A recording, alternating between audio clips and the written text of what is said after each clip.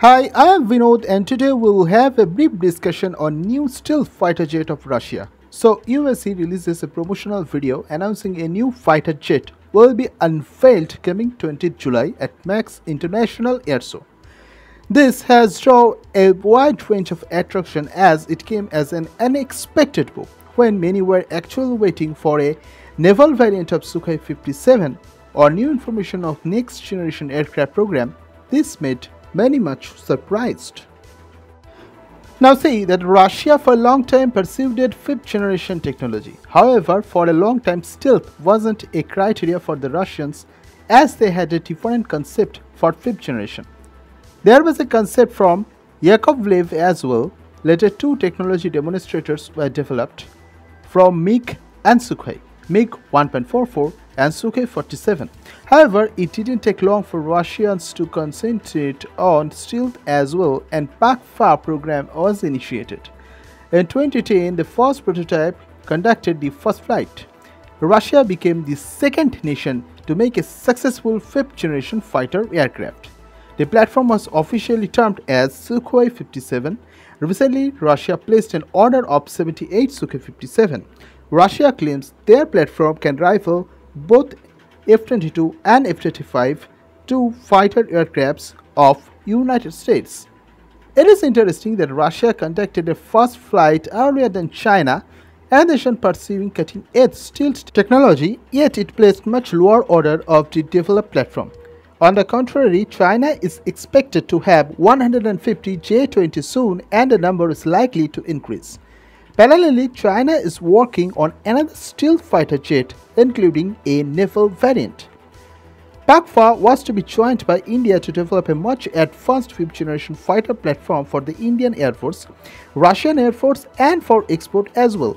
But things didn't advance as expected, though from the Russian side it was never said the joint program is scrapped even not the last year, in fact, it was said many nations are interested into export variant of Sukhoi 57. Still, it yet to get a confirmed customer.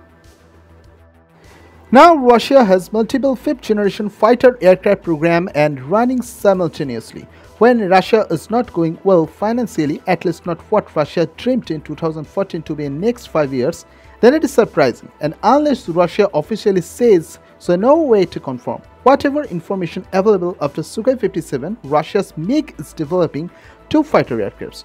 One is obviously the much reported PAK-DP, a next-generation platform often dubbed as MiG-41 and another is a wide platform LMFS.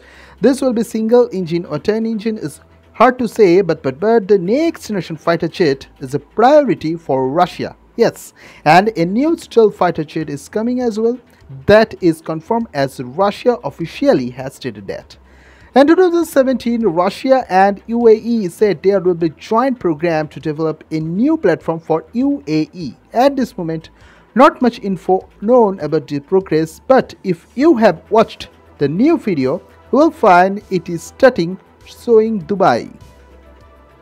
Now, it might be a, just a marketing strategy or a hint of joint development one can ask how it can be said it will be fifth generation one.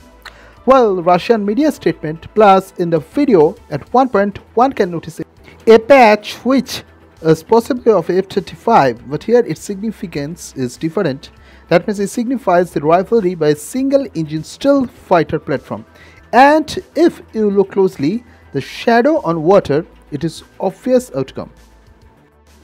One thing is clear that it will be for export purpose India, Vietnam, UAE and Argentina as a prime destination if the video means so. Though it must be said India is now focusing on indigenous platforms, both single engine and twin engine, three new fighter jets soon will fly in the sky.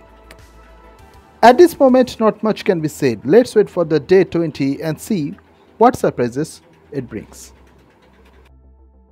Okay, so that's for today guys. Hope you have enjoyed the video. So like, comment and share. And please maintain the social distance get yourself vaccinated and keep using mask because we have to defeat COVID. Bye.